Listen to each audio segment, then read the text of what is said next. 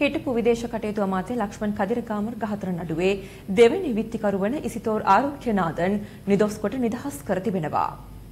දෙදහස් පහවසරේ අගොස්තු දොළොස් වනදා රාත්‍රියේ හිටපු අමාත්‍ය ලක්ෂ්මන් කදිරගාමන් මහතා ඝාතනයට ලක් වුණා. මෙම ඝාතනයට අනුබල දීමේ චෝදනා යටතේ ත්‍රස්තවාදීය පනත යටතේ සගාදේවන් සහ එසිතෝර් ආරුක්‍යනාදන් යන පුද්ගලයින්ට එරෙහිව කොළඹ මහාධිකරණයේ නඩු පවරා තිබුණේ චෝදනා පහක් යටතේ. මේ අතරතුරදී කොළඹ මහාධිකරණයේදී සිදු කළ ස්වේච්ඡාභාවය පිළිබඳ පරීක්ෂණයේදී නඩුවේ දෙවන විත්තිකරු විසින් ලබා දී තිබූ පාපොච්චාරණය ස්ව කැමැත්තෙන් ලබා දුන් දෙයක් නොවන නිසාත් එය ගත නොහැකි බව පවසමින් පසුගිය තුන්වනදා මහාධිකරණය එය ප්‍රතික්ෂේප කළා. අදාළ නඩුව ඊයේ කැඳ වූ අවස්ථාවේදී එහි දෙවන විත්තිකරු එසිතෝර් ආරුක්‍යනාදන් නැමැත්තා නිදොස් කොට නිදහස් කර තිබෙනවා. නීතිඥ කේ.වී. තවරාසා මහතා විත්තිකරුවන් වෙනුවෙන් පෙනී සිටියා.